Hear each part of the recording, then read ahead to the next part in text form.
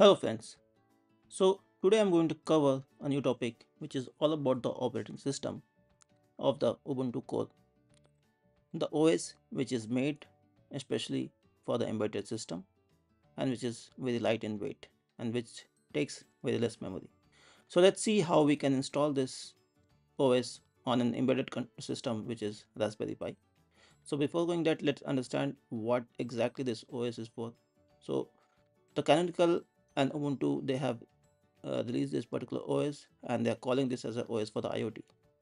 When it is IoT means it can be able to connect and utilize in any of the IoT field like automotive, industrial, smart home, smart cities, robotics, IoT gateway.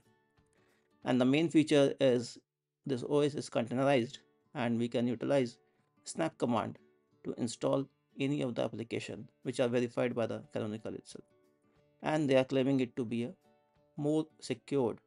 So which means it is iot and it is secured. That is one other thing. So let's see how we can install it on raspberry pi. So in order to do that we need to use imager and go to the ubuntu core 2264 bit. Click on the storage and then click on the next. Then it will take some time to write it on the sd card.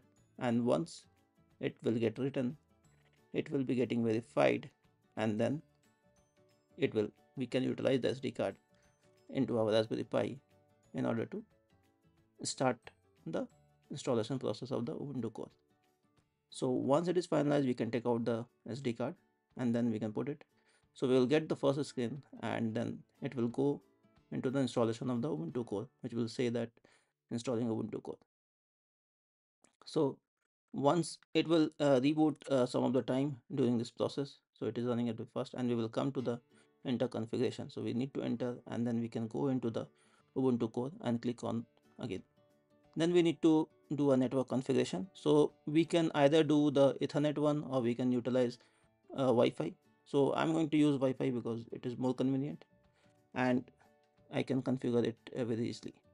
So uh, we need to press the tab key and we can go on to the next and then click on the WLAN and go to the edit Wi-Fi.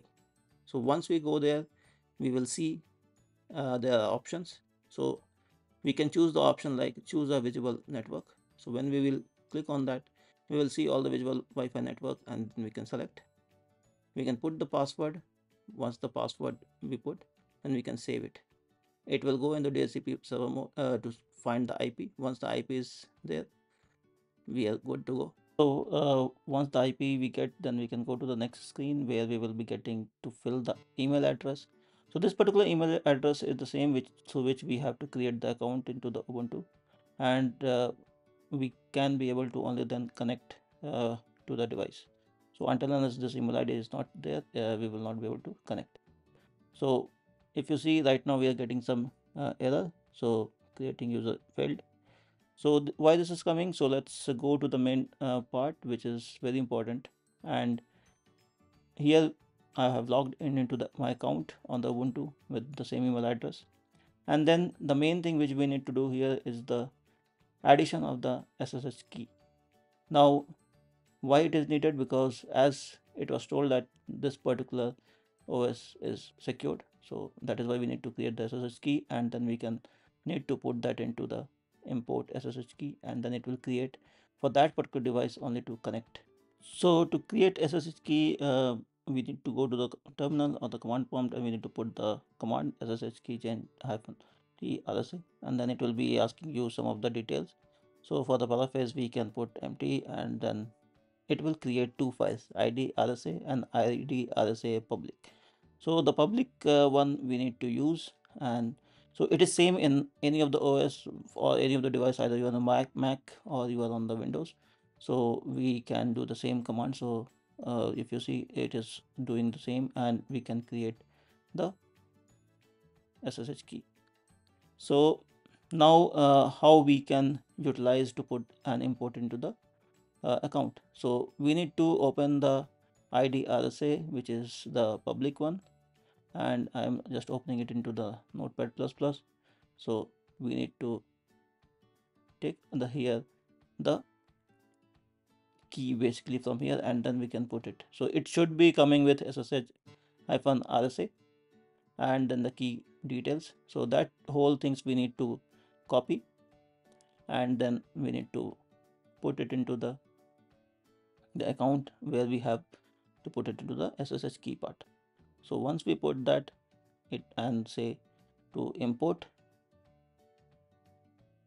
then it will get imported and it will get registered into the Ubuntu account. Okay so it will show that okay this particular key has been registered. And now uh, when we go back to the terminal and check again and click on the enter then we can see that our device will get registered. And this device is now registered to the email address and remote access has been enabled so now to connect and get it authenticated we need to put the ssh command and with the host name and the ip address. So it would have been also shown on the previous screen uh, what we need to use the command. So ssh the host name and then add the rate uh, the ip address of the device. When we put then again it will ask you for uh, entering the fingerprint and uh, you need to first give yes because we want to continue connect. After that uh, the system will go to the shutdown mode and then it will restart again and after which we will be allowed to again connect back. So once it will get uh, rebooted then again we, we can put the same command and sometimes it takes time. So uh, we need to reboot and we keep waiting for it to get rebooted. And then once it will come online then only it will allow us to connect. So once it has been rebooted fully uh, and then we can see uh, with the same command and 168.1.6 and then it allows us to connect on the terminal. And then we can be in the Ubuntu core and we can enter the terminal command and we can click and put the snap help. So snap is the uh, command uh, which we need to use in the Ubuntu core for all the purposes for installation services everything. So in order to uh, check uh, the services which are running so we can put the command called uh, snap list. So it will list down all the uh, processing which is happening right now into the server.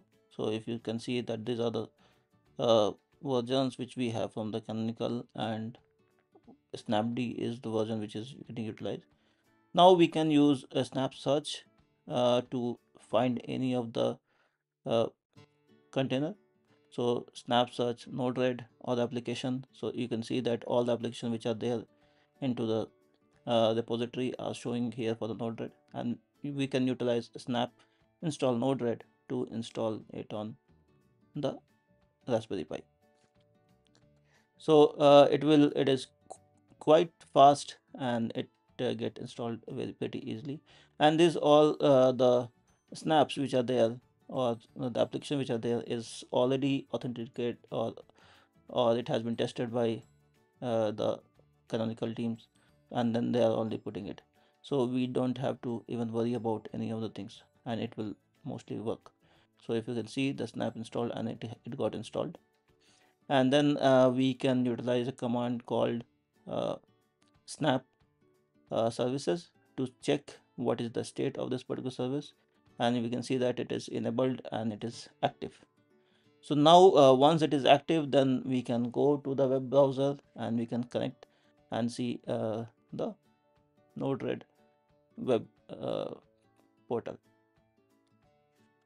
so 192.168.1.6 and it will be running on the default port 1880 and when we put that url then we will be in the node-red main screen the flow.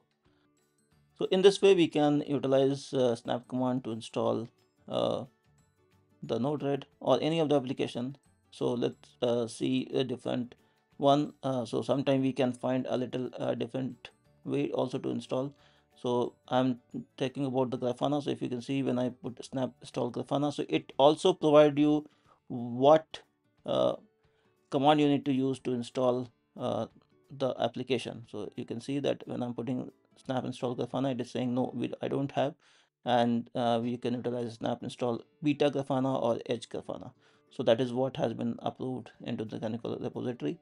And then when you put the snap install edge grafana which is uh, the option given then it will start installing it and then we can be good to go. And once it is installed we can be able to uh, fetch through the url so once it is downloaded the snap and it is getting mounted and security profiles has been created then yeah we can check uh, the services and we can see that grafana and node both are running.